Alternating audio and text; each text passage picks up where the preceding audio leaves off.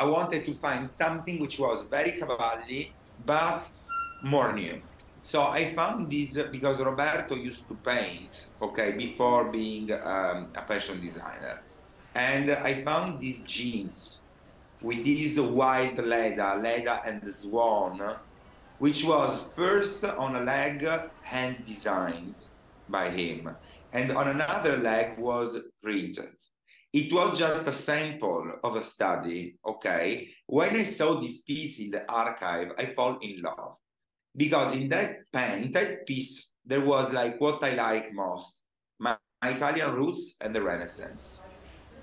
But then it was also the jeans, the idea of denim, which, which is part of uh, Anglo-Saxon or American culture, which I adore. Okay, so it was the possibility to mix two opposites, the Italian Renaissance drama and iconography with something extremely cool, modern, easy to wear, and was like a jeans.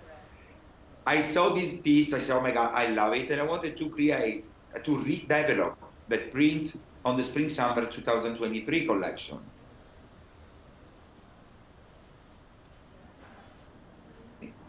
I'm like workaholic. I love fashion so much. I, this is the only thing I like to do. I like to go to the museum. So I never stop and I hope to never stop to design. I mean, you know, like so it's easy in a way for me. This is the only thing I don't know how to cook two eggs, honestly, but I know how to make clothes.